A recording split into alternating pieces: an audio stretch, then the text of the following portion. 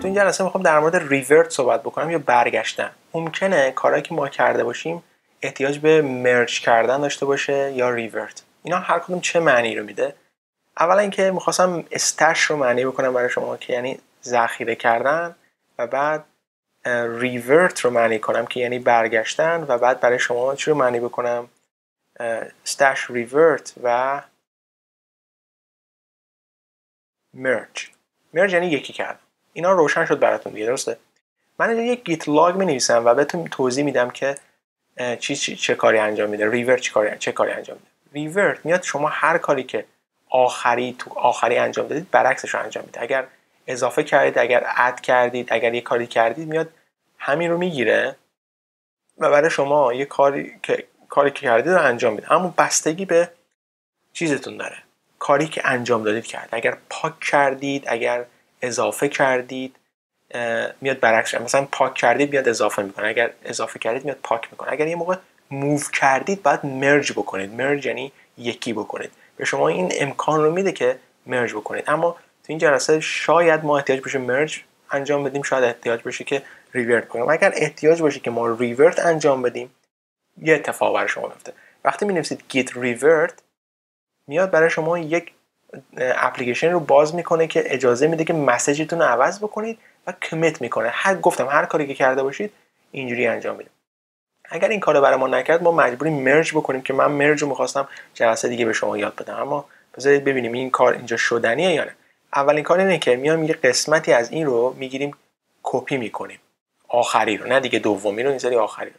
و بعد اینجا من می‌نویسم git revert خب که بعد میام sha1 اینجا paste می‌کنم. Enter می‌زنم خب؟ آها. الان اون چیزی که می‌خواستم اتفاق افتاد. اینجا اجازه میده که من با TextMate بیام اون message ی رو که جلسه قبلی نوشته بودم رو عوض بکنم. نوشته revert rearrange list of services. این آخرین message ببینید من برگردم بالا اینجوری خیلی بهتره که شما ببینید. اگر این رو هم درست بکنم بهتر معلوم میشه نگاه بکنید. آخرین چیزی که من نوشته بودم rearrange list of services میگه بیا این message رو عوض بکن. البته rearrange می‌بینید که اشکال داریم.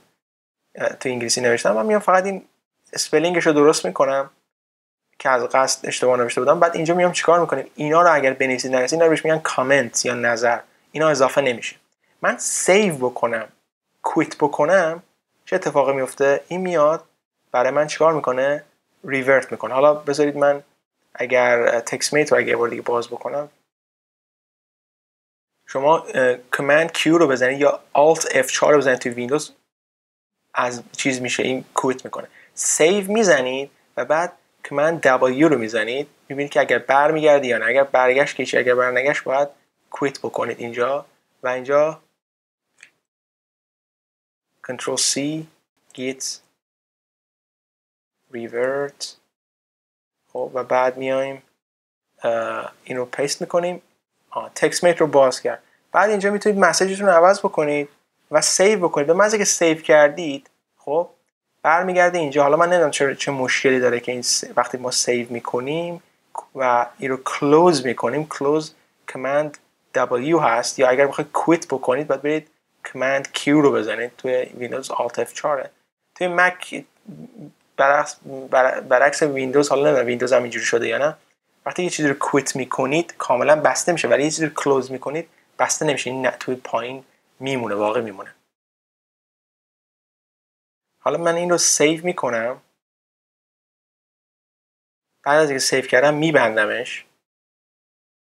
save and close. آها. ببینید الان اومد اینجا به من چی گفت؟ گفتش که revert rearrange index.html الان اگر من بیام اینجا بنویسم git status هیچی نیست. ولی اگر بنویسم git log خب می‌بینید که چه اتفاق افتاده؟ میگه this commit this revert commit انجام شده و الان در اصل برید این index.html رو نگاه بکنید می‌بینید که چی شده؟ iPad که پایین گذاشته شده بودیم و این social media management iPad and web application و این دوتا اومده بالا قرار گرفته. می‌دونید چی دارم بهتون میگم؟ پس دیدید ما مشکل داشتیم. مشکلمون هم با همدیگه تونستیم حل بکنیم و دیدید که وقتی که ما زدیم با TextMate وقت اینو بگیر و برای ما تغییرش بده اومد با TextMate باز کرد اینو تغییر داد و این کار رو ما انجام داد. این revert ه حالا یه موقع هستش که شما چه چیزی رو احتیاج دارید؟ موو کردی فایل دیگه اونجا نیستش. اون موقع چیکار بکنیم؟ اون موقع بعد مرج بکنیم یکی بکنیم که من بهتون توی ویدیو آینده توضیح میدم